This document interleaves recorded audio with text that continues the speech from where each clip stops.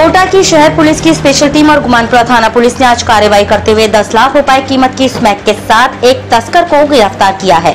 Special team के सदस्यों को सूचना मिली थी कि छावनी निवासी आरोपी इंसाफ अली स्मैक का कारोबार कर रहा है।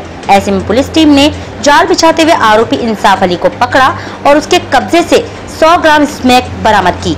बरामद की गई स्मैक की कीमत अंतर्राष्ट्रीय बाज़ार में 10 लाख रुपए बताई जा रही है। फ़िलहाल गुमानपुरा थाना पुलिस ने कोर्ट में पेश कर आरोपी को रिमांड पर लिया है। रिमांड अवधि के दौरान आरोपी से स्मैक की खरीद फरोख्त के बारे में पूछताछ की जाएगी।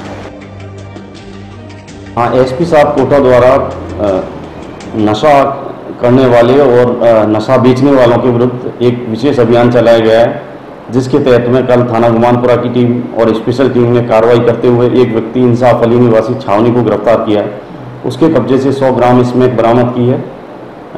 इसमें प्रकरण दर्ज कर अनुसंधान किया जा रहा है और वो इसमें कहाँ से लाया और किन किन लोगों को सप्लाई करने जा रहा था। पहले उसने कहाँ किन किन लोगों को सप्लाई की है इस बारे में अनुसंधान किया जा रहा है। कोटा की खबरों से अपडेट रहने के लिए YouTube पर सब्सक्राइब करें कॉम पर। और हाँ बेल आइकन दबाना ना भूलें।